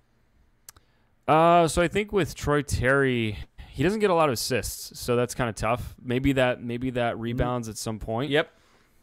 I'm gonna go with is 65 too much for for Terry? I'm going to go with 70 for Terry. Terry, okay, 70, fine. And then with Zegras, I think 60 is realistic. I'm going to go 65. Okay, I'm just go. going to keep one up in you. That's fine. When's Max Jones coming back? Feels like it's gonna be soon. Yeah, I don't know. It should be soon. Shake Wing said, uh, and does uh, their uh, probable point total come close to your? Oh, does this probable point total come close to your early, uh, early season expectations? I think it does actually. I think it for exceeds. Zegras. It exceeds Well, it. I for, think. for, for Zegras, 60 is kind of. I think I had said 50 to 60. yeah, I think that's um, where we both stood, and I think I think Terry, we were thinking forty to fifty Yeah. range. So that, I mean, Terry's blowing it out of the water. Yeah. So Um, Briz said, with a team like the Rangers interested in Lindholm and Rakell, what are the chances they are packaged together, and what would a return look like? Well, we had a long talk about this last week. Yep. Uh, Kaapo Kakko. You, you want Kaapo Kakko. I don't think No, there's a chance. no way, no way it would happen. But that's Why I would the Rangers do that? Is my question. because they're low on him and scratching him. Are they really? Yeah, He's not but playing still, that much. But but still, he's one of your best prospects. Sure. And you're giving him up for two, For re- two for rentals. well, I mean, maybe they think they can re- sign Lindholm to that eight-year deal. Yeah, I guess. I guess that's not a bad point, but yeah, I I, I guess I. So I I made a hypothetical trade. Yeah, Kakko's on- uh, played 37 games this year. I said I said Rakell for a first and Braden Schneider. Probably high, probably a little too much. Yeah, But but you know it's it's it's always how it is when you throw a hypothetical thra- tr- a trade out on Twitter. You get the opposing team's fans that just invade. as I've learned, as I learned last year with the Leafs. Yeah, I had the Rangers fans just like talking shit to me for 24 hours basically. I had to mute a lot of people. But anyway, um I don't know like what the Rangers I I guess what I've learned is that the Rangers aren't trading anyone. Like like from that like no one of note uh from from that whole exchange, but the Rangers have a lot of younger players. I'm sure that they're willing to give up draft picks, so but Kaapo Kakko would be an interesting uh Mm-hmm. interesting addition. Mhm. I don't see it happening though. Uh, JJ Stone Drums just asked, "How are you guys doing?" Doing great. Doing great. Trade deadline's coming up. This is my favorite time of year. I know it is. I, I love it. I love it. I well, I, I'm particularly excited for this one because Mm-hmm. I, in the past couple of years, there's just always been that kind of, you know, there's the letdown potential with Bob Murray, and this year I feel like we're finally, we're finally gonna get rewarded for for the misery. Yeah. So Kampafu asks, I know you guys have been uh, off the Laine train since he went to Columbus, but 32 Thoughts talked about him potentially not returning to Columbus. Do you think the Ducks would go after him, to, or the Ducks going after him would make sense? A 23, 20, uh, turning 24 pure sniper seems to be something the Ducks are missing. He may be too expensive, though. Yeah, I my Patrik Laine stance has uh, yet to change, which is that he is exactly that. He is a pure sniper and does practically nothing else for you. Like doesn't drive play at all. Um, is Oh, bad boy, defensively. I mean, this is who he's always been, and it's so it's just hilarious to me that it just hasn't really changed. And it'll ebb and it'll flow, but like last season, I mean, he was terrible last season. So I no, he's just a guy who's too flawed for me. He would only make sense. He would only make sense if you're injecting him into like let's say a Boston, where you can completely insulate him and you can really maximize that shot. I don't know if the Ducks are there yet, and so that's I would just stay away. Yep, uh, agreed completely there, especially with what he's going to end up making. Like it's the value what he's going to end up getting is not going to be worth uh, worth it at all. Um, let's see. Let's go to quick uh, Twitter questions, and then we'll hit the Twitch chat. Uh, question for the pod. This comes from Justin Beck. Assuming we move all three UFAs to the deadline, what types of prospects will Verbeek target? Forwards, defensemen, or just best available? And what would you guys do? So I think that, I mean, Verbeek has talked about how he wants the team to get stronger, harder to play against. Like that's the brand of hockey that he wants. But I don't think that that's really like position specific. I mean, if you if you look at the if you look at the the, the, the pool of talent, I mean, the Ducks have a lot of guys at every position. So I think it's just going to be best available or just whoever whoever's the most alluring of them. But I don't know if position is going to be the huge determining factor. Yeah, Maybe I, I'm wrong about I, that. I think you just get best available and then see if you can maybe flip some of them to get Jakob Chychrun. I'm staying on that bandwagon. There's also the whole thing of the college free agents for the Ducks, which we haven't talked about yet. But True. That, yeah. That was a Patreon question. Do we want to just talk about that briefly now? No, we're honoring the Patreon question. Okay, so we'll say. But I mean, we but we did get word that Verbeek was scouting the Ducks well, and, college and guys. he specifically mentioned signing some of those guys, and there are some. I think, yeah, Thrun and Lacombe are probably the two highest profile ones. yeah, I mean that's like I think you you you want to you want to lock them all down because the I Ducks mean, don't have those like, are- that's that's it. That's their D pipeline. I mean, those are two that legitimately could potentially make the jump to the NHL next season. Yeah, like you need like you need those guys in your pipeline. And I know Olen Zellweger is great, but He's a, he's a ways out still. yeah, exactly. Like, Like- the Ducks are kind of thin if if you lose both of those guys. Yeah. Um. So Trevor Zegras at Zegras Trevor on Twitter sent me a DM saying, "What prospect are you most intrigued by the possibility of getting at the deadline?" Nick Robertson. Yeah, I, I mean, I guess like of who's available. Yeah. Sure, let's go Nick Robertson. Yep. There you go. Nick Robertson. I didn't even know he was Jason Robertson's brother until Did you today. really? That's bad, isn't it? That's really bad. Yeah. Well, shame on me, I guess. Yeah. Real big shame on you. Um, all right, so now it's time for the Twitch chat. Uh, so for those of you watching us on YouTube, yes, we're on YouTube. Go to youtube.com slash crash the pond. There's a YouTube comment that we'll get to later also. Um, or listen to your fa- on your favorite podcast services. We do a live stream of the show each and every time at twitch.tv slash crashpond where you can watch with us live. Uh, you can watch us when we kind of get through all the questions. Go to the crazy shit show portion of this uh, the show. You can also support us if you, if you have Amazon Prime. You get one free Twitch Prime gaming sub each and every month. Um, and with that, you help support the show more than you can imagine. You can be just like uh, PC Main, who resubscribed for two months, as saying Hat Time Darko Theory resub for 10 months, Rakell's Goatee uh, resub for 15 months, and the Womb Raider UW has subscribed also. So thank you so much to all of you. So the first question we've got comes from uh, Austin Price 529. Realistically, who do you think is the head coach for the Ducks next season? Ooh, that is a good question. And also, think- also assuming Eakins is gone, uh, do you think he would stay in the organization, but perhaps return to the goals or player development? I mean, do we think he's good at those things? I, I think if he's Player gone, he's. I think if he's gone, he's gone. Yeah, same. Uh, well, I'll start with this. I don't think it'll be Dallas Eakins, number one. I don't think it'll be any of the guys from San Diego. I, I think that it's not going to be Joel Bouchard or any of that staff. Agreed. So, at that point, it's you know I could see Pat Verbeek going a little off the s- off the off the script and going with a guy that maybe we're not thinking about at all right now, like not a not a revolving door kind of retread guy. Yeah. That would Uh, that yeah. would be my guess. I Like, honestly, it- it- yeah. it- no, but I mean, I'm I'm saying like I don't. We don't really know of ties that he has to like bigger name coaches, so I would guess it'll be something someone we're not really expecting. Yep, I would agree with that. Uh, the Alex Jones asked question, not really a question, I guess, but if you had to pick a surprise player to get dealt at the deadline, who could you see? I think Derek Grant would be my surprise one because we legitimately haven't talked about him at all. Yeah. But but he seems to be valued, and he's got a year left, so maybe that boosts his value a little bit. He's cheap. He wins faceoffs supposedly, so that would be my surprise one. Yep. Uh, Sith Lord Buscemi asked, "What's your realistic deadline haul?" Three, three Uh, first round picks. Is that realistic? Yeah. Do you think they're getting a first round pick for Rakell? Yeah. Okay. I, I think it's a first round pick, or you get a second and a prospect. okay. So let's call it three firsts. Yeah, I think, or in that range. Whether that ends up, that's kind of the value. I, at least three firsts, because Lindholm will get you more than that. Yeah. By the way, the coach of the Ducks will not be Marty St. Louis. Please. Like people are people have been using that against me lately. Why are you trying to take the only joy I have in this world right now? Please. The painful asked, uh, has Lundestrom usurped Grant's role as the elite one C?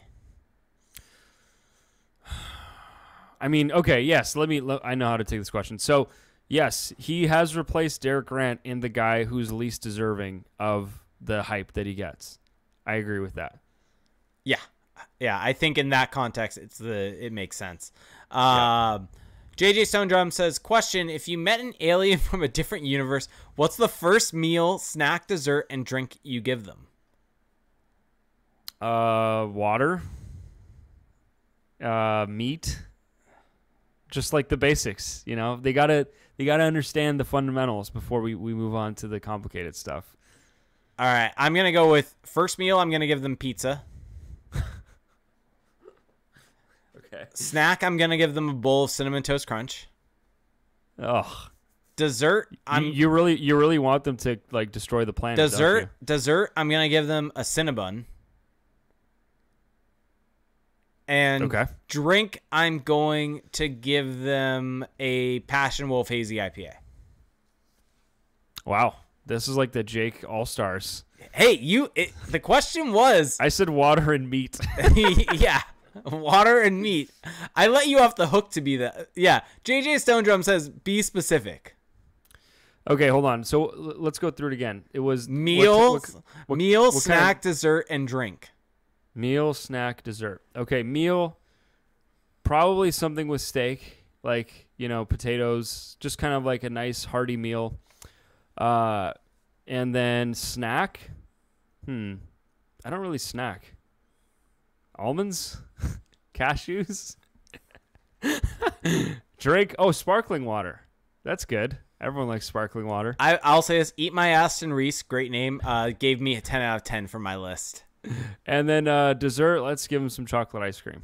There you go. Okay. Uh, oh. um, let's see. CJK Chell says guesses on the Ducks reverse retro jersey for next season. I don't think it'll be Wild Wing. No, I don't think so. I mean, what are the options, right? I think it'll be a Jade. Um, you know what I could see them bringing? I could see them What- doing that word script Anaheim jersey in orange and black. Oh, that would be so lame. Um, what I could see them doing is the fourth jersey from like what was it, 1998, Yeah, yeah, yeah, with the silver shoulders. and do that in like an orange and black, maybe. Yeah, I could see it. Maybe that maybe that's too similar to the current alternate, but I could I could see them bringing that one or just doing a Jade uh, home. So you know you just reverse the the original eggplant Jade home and just go full Jade. Yeah, I And- think it's gonna be the Anaheim script going origin black. Which Why I do find you think that? I don't know. Why do you think that? I don't know. Okay, I, I just think it's gonna be that, and I'm gonna hate it. we need to move on from this. Uh, I'm not a big. F- it's funny when I was a kid, I used to think that was a great jersey. Same. And now, Same. and now when I see it, I'm just like, there's nothing cool about this Same. jersey. Same. Agreed. Uh, peace. We're probably gonna get hate for that one. By the way, Poker Puck subscribed also. Uh, PC Main said, "When does Zegras uh, captaincy begin, and do the Ducks roll back to the Mighty Ducks logo with this changeup?" You know, that's not an awful idea because Zegras has always said like he's a fan of the Mighty Ducks jersey. Yeah, I mean, multiple players in the team have- have said that. Um, yeah, I, I think, you know, whenever Getzlaf retires, and then it's going to be a matter of what kind of captain they want next. So it could happen as soon as next season, potentially. Uh, JJ Jones, uh, JJ Stone Drum says, "I think it's just gonna be a big picture of Jake's face on the jersey." I I really hope not. I really hope not. Um. Oh, Tybo the Fiend Blooded said, "I don't know follow much wrestling. What is AEW? Oh boy, AEW is the best wrestling there is right now. I think I think Great. he's just asking for what AEW stands for. uh, All Elite Wrestling, and Okay. it has Moving on. it is Moving on, on. TBS and TNT. It is the uh, competitor need, to WWE. They, they don't need your. It- they don't it- need you to, to plug them. By it's the way, very inter- I'm plugging it for the greater good of everyone because everyone should be watching AEW. Revolution was fantastic. It was long. It was fun. Great storytelling. Wrestling's great. Okay. All right, let's let's move on. See, from that. Do wait, you Ty- Tybal the Fiend Blooded says, "I want to know what it is." no, do you don't. Why? Why? We don't need that. We don't need Ju- that in our lives. Just watch it. It's every Wednesday night is Dynamite at 8 p.m. Pacific. Uh, Friday nights are Rampage. It's really fun. I'm just punching air right now. Actually, punching Pain, myself. Painful Light says Felix needs the power to mute Jake when wrestling comes up. Well, it's not that I want to mute you. I just I just want you to understand that this topic is Hey. just doesn't doesn't resonate. People ask me the question. Ugh, okay. Uh, I yeah, the uh, Tybal the Fiend Blooded says he likes watching you squirm. you know, eh, I don't know why that's a thing, but it is. it is Um, what it is. All right, so I think it's that time. Oh yes. Let's I start feel, with I feel like you know, it's just it's this is like a reward for being. We've been pretty on task today. Oh, we got a question. Late hitter. what was Late it? hitter. Oh, question from 91 Pluty. What are the highest draft odds you think the Ducks can finish this year? As in odds for 10th uh, first overall. I predict we can finish Ooh. as bad as ninth highest odds. I don't know because they kind of keep winning these games, and it's. I think the highest is like 10th, especially once they move guys out. Mhm. I think 10th once highest. once they do. Okay. I mean, we've established we think they're getting dealt. so- yeah. wow, got him. Got him a little bit there. Okay. Got him. what do you think? Okay. Uh, yes, it is that time. It's time for recess, basically. Yeah. So we, we got some uh, places brought up in Twitch that I'll get to, but we're going to be uh, starting with Island Lake, Manitoba. Wait, didn't you say you had a YouTube comment you wanted to talk about? Oh, do we want to? I was going to do that after. Okay. Well, I mean, do do, do whatever. Doesn't Yeah. matter. We're, we're, Island Lake, Manitoba. Island Lake, Manitoba. Ah, interesting. Interesting. Let's see. Why am I why am I clicking on the Wikipedia page? Uh, Where where is this? Where is where did Lou take us this week? yeah, I don't I don't trust him. There's a KFC in this town. Oh, I'm thi- already this skeptical. this is pretty distant. The fact that there's a KFC is honestly well, impressive. no. So the K- the KFC is between Island Lake and Garden Hill. Actually, let's check the address of the KFC. It is officially in Island Lake, so I will eat crow there. Um, yeah, this is freaking remote. Holy, this this is like in the Arctic Circle practically. a lot of good 3.8, a lot of four stars review, four star reviews.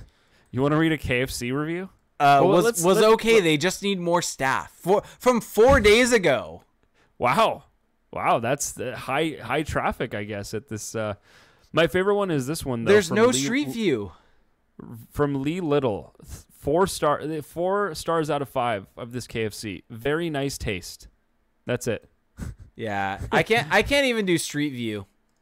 Here, There is a oh, there is an ice rink. There is an arena in Where? Island Lake though. where? It's it's the Garden Hill KEC arena. Why am I not? Oh, got is this it. not a rink? yeah, I got it. I got It it. appears to be a rink. It does. wow. Har- So har- even, it's hard to find a place to park there, though. park park what exactly? Your your jet ski or not jet ski, but uh, what's the, s- the Snow- snowmobile? snow- Why did I say jet ski? Oof. Oof. My Canadian card just put it in the shredder. It appears that there's like an outdoor rink, though. Interesting. If you go to Garden Hill High School, they have an outdoor rink. And I mean, they- it it's looks- definitely cold enough there. wow, that's kind of cool. But there is nothing in this town. I mean, there's literally a KFC and an ice rink, and that's it. Like, Yeah. I, I don't. And then, but so okay, this is weird because there's there's like a little island that's connecting to it. Stevenson there is a- Island. There is an Island Lake Northern store, which is listed officially as a shopping mall. There's an Island Lake Airport over on Yeah. Stevenson Island. Stevenson So- Island can't even get their own airport. It's called Island Lake Airport. Wow. yeah, th- this is just so remote that it's like kind of depressing. Yeah, let's see the shopping mall. Oh, there's so much snow. Wait, there's a Pizza Hut and a KFC here at the back. Yeah, I'm I, I'm getting mixed signals on where this this Pizza Hut and KFC is actually located. Yeah. I feel like I'm being jerked around All right. by, by the by the people of Island Lake. Austin Price said Cold Lake, Alberta. Okay, So I like that name. It's by Kinosoo Beach. This is like the most northern tip of like actual like roadways. Yeah.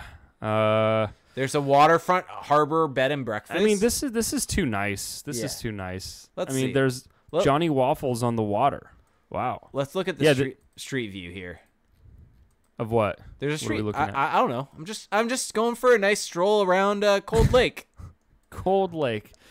Yeah, not- there's a North there's a North Pizza and what is it called?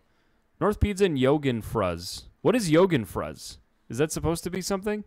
Where? I have no idea what you're talking So about. So in this town there is a store or a restaurant called Northside Pizza and Yogen Früz. there's a uh, Mamacita's Mexican food. Hold on. I need to know what Yogen Früz means. I'm googling this. I I still don't see this. I think you're Oh, this yo, it, it's like a company. Oh, okay. Wow. So, the, so the pizza the pizza restaurant shares a location with a yogurt frozen yogurt place. okay. Yogen Früz. Okay, maybe that that makes more sense. Here Yeah. we go. We've got uh, Climax Sas- Saskatchewan. Climax. Okay. This comes from uh, 91 Pluto who said, AKA Felix's favorite city. Make of that what you will. I, I, no comment. Um, it's actually the village of Climax. Oh, So why is it called Climax? Is it like on the top or the tip of something or like? Like I just holy! This is this is just off this the is dirt of, roads. Second Oh, Avenue really? is dirt. Oh, that's kind of nice. Why is that nice? Well, no, but you know, it's like that's that's a that's a nice feather in our cap. We don't we haven't had any dirt roads. Yeah, I think this is the first dirt road that I've seen. The the Are the you sure this is dirt? it, when you go to second Second Street's definitely dirt. I'm on Second Avenue. Was there a Second Street and a Second I, Avenue? yeah, no, Second Avenue. Second Avenue was definitely dirt. that doesn't look like dirt to me. 91 Pluty's like this is uh, Letterkenny. Definitely My fa- my No, favorite thing this is is that- this is 100% dirt. My favorite thing is that there's a Climax Brewing. Guys, please in the Twitch chat confirm that this is dirt that we're looking at. I just so there's a there's a brewing company or or a brewery called Climax Brewing, and I feel like if I oh it's not open yet. Interesting. I feel like if I got drunk at this place, I would just be walking around just saying there's a Climax Brewing, like just over and over again. Like I just couldn't help myself.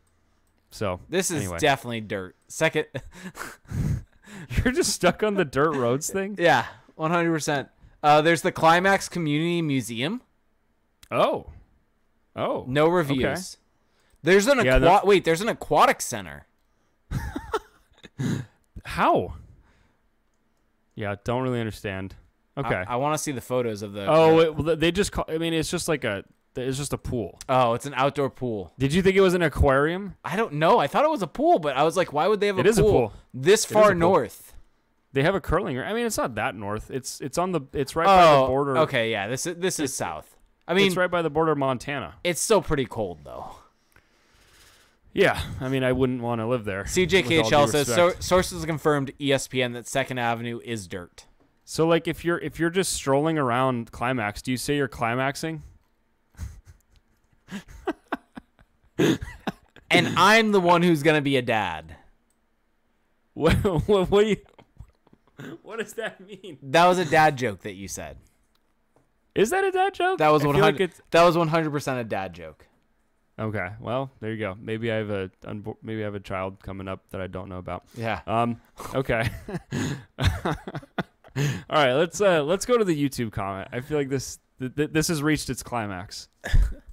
Wow. Great. We're Great. coming we're we're coming down now. Great, great segue. So here's the YouTube comment. So Logan Maxwell had reached out to me the uh, the other week, and I think I brought this up. You know what? I'm just gonna find his original uh, YouTube uh, comment because he's in Australia, and he had mentioned that he was basically uh, needed to try. Dude, climax climax hotel. Like, could they have named it something else? um, like, eat, come eat- on. eat my ass and Reese is giving your segue a 10 out of 10. Climax hotel. Like. Anyway, I'm, I'll, So- let, I'll, let, I'll let the others draw the conclusion. Here, here was uh, his uh, comment uh, from a couple weeks, or I think a couple weeks ago. He says, "Always loves the show. Wait for it every week." On another note, this bloody cinnamon toast crunch that keeps getting mentioned every month or two has tempted me. Uh, it's not a thing down here in Australia, and no way sounds like a healthy breakfast. However, for the not so low cost of twelve dollars, including postage, I've ordered- $12? I've ordered a box of this amazing breakfast. Uh, apparently amazing breakfast. Watch this space for my hot take from down under.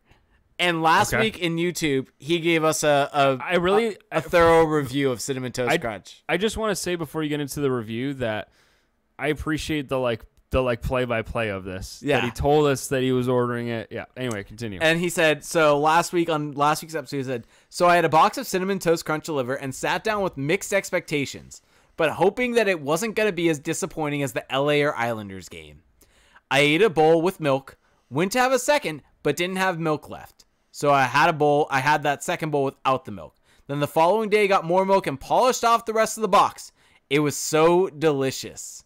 Thank you for putting me into it. I'm hesitant to buy more due to the rapid rate uh, I pliers through. Uh, I think I went I went through it and lack of control to stop myself from just one more bowl. It's probably for the best that we don't have this stuff available on Aussie shelves. I'm just so sorry you have I- to go through that. I'm very happy that we've turned an Australian Logan. I'm happy that we turned you on to the wonderful, Don't- don't eat- wonderful don't cinnamon eat toast cinnamon crunch. toast crunch. Just don't You do it. still have? Do we? Do I expose you right now? I mean, this is known. Also, I guess I learned today that there is a cinnamon toast crunch ice cream. Yeah. Also, Which- you which- can just put cinnamon toast crunch on top of ice cream, and it's great. Oh, It, That vanilla sounds ice cream so with bad. vanilla ice cream with cinnamon sugar. you know this whole like the, I don't know what's worse, the ice cream or the cereal, but it all sounds bad. I've never tried it though, so I'll say that I haven't. I haven't actually tried cinnamon. Yeah, Toast I mean, Crunch. painful light. You're you're valid. Cinnamon toast crunch is delicious, but it's also candy, not breakfast. That's fair. Yeah. Oh my God! Wait, ninety one Pluto saying, did you guys know that BJ's has a cinnamon toast crunch pizookie? I did not. There used to be a BJ's within walking distance from me, and now it's gone. Rest rest in peace to that BJ's. Bl- bl- it was a sick one. It was a sick BJ. BJ's. Sorry. Oops. Moving on. Moving on. I don't think I have anything else. That that's Should we wrap up? Should we should we wrap up? that, that I think I broke him. I think I broke him. I did it, folks. This this one's for the people. This one's for the people who actually love eggs and avocados. I broke Jake. I did this for you guys. oh, man. Yeah, I'm broken. Yeah, first climax, now BJ's. This is this show is just this is C- CTP after dark. yeah. Use Th- the use the code CTP after dark when this- you go to the is Climax this, Hotel. Is this the most ultimate shit show that we've had? Can we get the Climax Hotel to, to sponsor us? That's what I want to know. Can Um, we can we get Leaf Rapids to sponsor us? We're we're climaxing the pond. Um, okay, this is really just fully off the rails, or or maybe just on a different rail. You know, that's also an option. Do you do you, do you have anything? left? I have nothing. I have nothing left. I just broke you. You Okay. did. Um, all right, folks. Well, if you enjoyed uh, what you listened to today, there's a few different ways for you to support that to help you to help us uh, keep this thing going. The number one way is by joining our Patreon page. So, Jake had to turn off his mic because he's so broken. Um, so, for one dollar a month. If you do a $1 monthly pledge, you get to join our patrons only Discord server, which is so much fun. You get to bond with and connect with other diehard Ducks fans. Uh, so during games, it's with trade deadline season approaching, it's, a, it's the best time to join because as news are breaking down, you can immediately discuss it with all the great people that we have in there, including us. Um, and it's not limited to just hockey talk. There's also food, a food channel, which is you're gonna get some of the most controversial food Oh, that's what I forgot. you've ever seen. Oh, there you go. Yeah. So so on the show, if you join us, Oh, we will actually read the latest food take from the food channel. um, this has been brought up as what needs to be um brought up on the show. Okay. This is important to to bring up. Okay. Within the food channel over this past week, there was a crime committed against humanity. One Oh. one Felix Sicard Oh no. decided Oh. to try to say that cheese The show's pizza not going to end today, is it? The show's not. The show's not going to end today, is it? that cheese pizza is not pizza. It's cheese bread. That's in like no. It's cheese bread. no. I have yet to hear a valid argument. Is the pizza is the bread cooked with sauce and cheese on it? Here's what I will say. Is cheese bread ever cooked with the sauce on it? Here's what I will say. Cheese pizza is cheese bread. And I just have yet to hear. You could say it's cheese bread sauce or, or cheese sauce bread, but it's not pizza. So Pizza let, let me ask you this: Where did pizza originate? Unknown, actually. Italy. If, if you if you look at the uh, the history books, it's disputed where it originated from. Italy So and Naples specifically, well known for its pizza. Neapolitan pizza be- is called that because of coming from Naples. One of the uh, more iconic Neapolitan pizzas is a margherita pizza, which is sauce, cheese, and basil leaves. hmm That is it. You're telling me that that is not pizza. No, what I'm saying is that cheese pizza is not pizza. That is cheese so pizza. is that is a Neapolitan pizza. Nope, we don't that- call that cheese pizza. That is a cheese pizza. no, that is a Neapolitan That is pizza. that is pizza with well, That- what that- what is what is the difference between that and cheese pizza? It's cheese, sauce, Because- bread. because because what because what we think of as cheese pizza is like you know shitty you know chain restaurant or whatever uh, cheese pizza and that is not that So that is are- Neapolitan So are you saying that the meat, a pepper, uh, one slice of pepperoni, makes Yes. something go from being a pizza to not or not a pizza to a it's cheese pizza? bread One It is- slice, is one cheese- slice of pepperoni. all right I need to stop. I need to stop because I'm I'm I'm getting. Look, I so this has been one of the common. You uh, keep you also keep calling it cheese pizza. Well, no. So I'm just trying to use words that you will understand. It's not because I think it's pizza. I think it's cheese bread. So uh, hopefully that that clears it up. I think you should. Go, I think you should go tell Domino's, Pizza Hut, local pizza eateries, all the different types of stuff. Change their signs. Make They it, should. make it cheese They bread. should. They they are they are a true misinformation campaign. They should be deplatformed for for this egregious misrepresentation. Um, so anyway, if you want if you want that, I'm kind of I'm I'm, I'm not sh- sure this is the best way to sell this, but if you want that and more, uh, that's for one dollar a month. For five dollars a month, you get access to two bonus episodes. So for those, we'll go more in depth around the league. We'll do rankings. We'll talk about the team. Uh, and we're also a lot more unfiltered than we are on the regular show. Although now I'm kind of like that line is starting to get blurred after today's episode, and and some of the antics that that Jake put on the show today. Me? Uh, yeah, you. Um, and then for fifteen dollars a month, uh, you are helping us tremendously, tremendously, tremendously, and uh, that's all at Patreon.com/slash Crash the Pond. Now, another way to support us, which is free to you, is you can go and leave us a rating and a review on Apple Podcasts. And today, we have a new one. And if you do leave this review, we will read it on the show. And we have a new one. We will read it. This one is from Quackers, 1504. This is from Canada.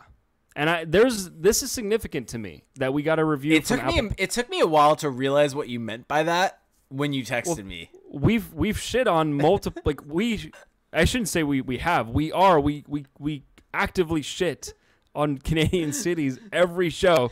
I wouldn't maybe shit's a little strong, but you know, we critique them. We certainly critique them. And so that that people are st- in Canada are still listening to us is a good sign. It shows that we're we're not too critical. So, title of the review is Great Pod, five stars, and here it goes. Best podcast there is. Wow. That- I mean, best Thank you. open to Thank review. you. Best podcast there is. There is no other Ducks podcast that comes close. I started listening about a year ago, and now I never miss the weekly pod. All the other Ducks podcasts are mostly opinionated and biased. But what makes this podcast so good is that there is no bias, and I love the use of analytics to support all key points. Very smart, clear, and consistent analysis. The viewers question the viewer questions portion of the podcast is entertaining as well. Thank Uh, you. yeah, I, I I'm glad you're entertained.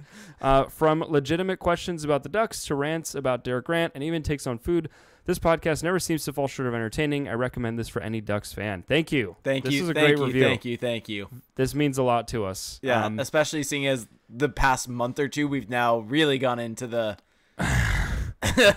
yeah, yeah. I don't know when when will this experiment run its course. Who knows? Or or maybe this is just the beginning. Yeah, I mean, I feel like Maybe- I feel like we get more Twitter mentions about this than we do about regular podcasts. Anything else? anything else?